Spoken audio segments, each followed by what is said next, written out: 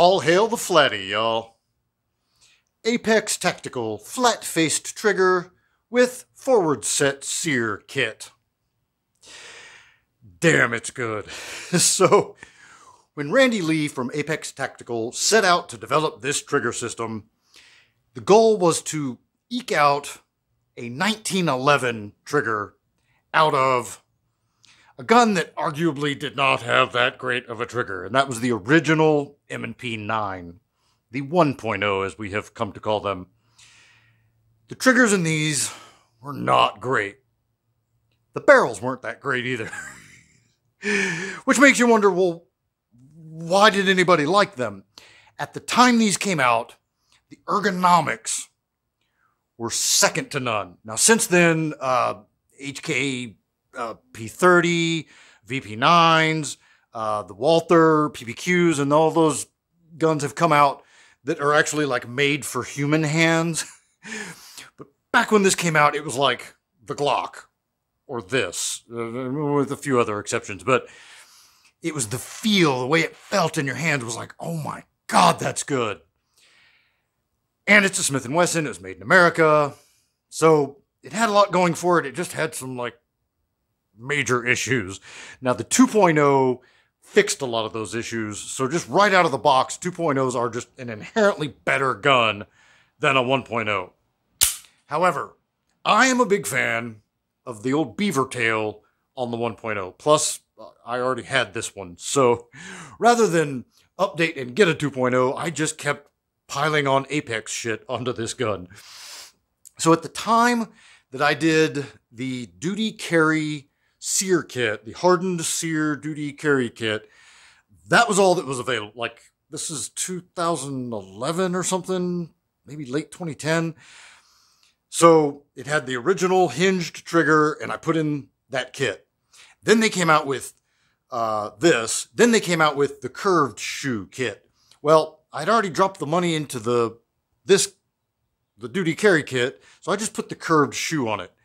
Ended up costing about the same as what this kit, the forward set sear with the flat face trigger, the flatty, ended up costing about the same, but I could never justify spending that money again to put a flatty in it.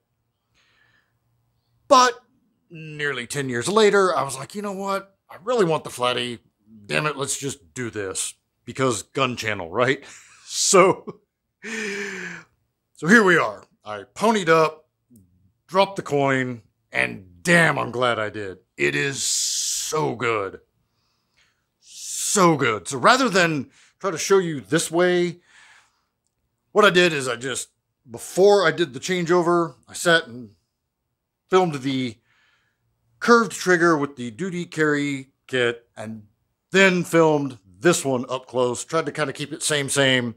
So let's take a look at the before and then the after. I'm going to let these run kind of long so that you can really kind of get a sense, and then I'll meet you back here in a second.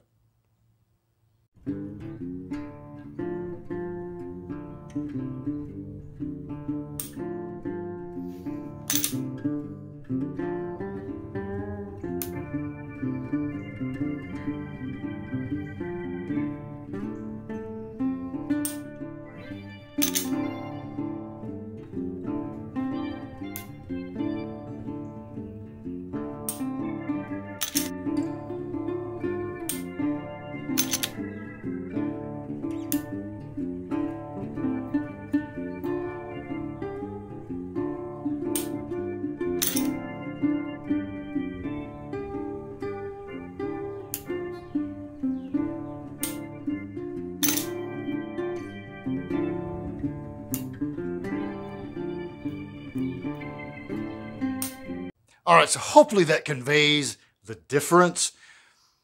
It was good before, like it was light years better than the factory trigger, and it was a good trigger. Uh, I'm four and a half, five pounds, something. Little bit of creep, like once you hit the wall, a little bit of mush, a little bit of pre-travel, but it was a good trigger. This is crazy good. Like, damn. I put the heavier, it comes with two trigger springs and I put the heavier spring because I do want to be able to carry it. I'm not going for like competition lightness. That's supposed to be the difference between kind of a three pound trigger pull and like four and a half pound. So I wanted the heavier pull. Might change it out down the road, probably not. This is still plenty light. My dry my dry fires are like nuts. I mean the gun is not moving. Ran it through the mantis a whole bunch of times. Scores instantly jumped up from the previous trigger, so I'm happy about that. I'll have a video on that later in the week. You know, really just beat this thing to death. uh, it's damn good, y'all. If you have an original or a 2.0 with original, you know, factory triggers in them, this upgrade is well, well worth it. It is a pain in the ass to do the install. Like, damn. Uh, for y'all M&P nerds, uh, so I already had the the improved striker block kit, the ultimate striker block kit, which goes into the slide, and you have to remove the rear sight to get it in. And the Flatty has a whole different striker block, so I had to do that, uh, as well as changing over. So I mean, everything had to come out it was a giant pain in the ass, uh, but well worth the juice was well worth the squeeze. So now what I have is the trigger I'm happy with, got the light I'm happy with, got the holster, got the SLS working, I got my belt mostly almost totally put together. So I'm almost ready for my training coming up here in about a month, a little over a month. And it's great success, y'all. So, anyway,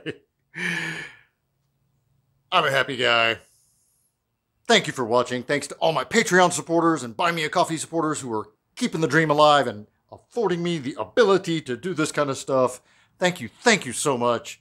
Until next time, be easy, y'all.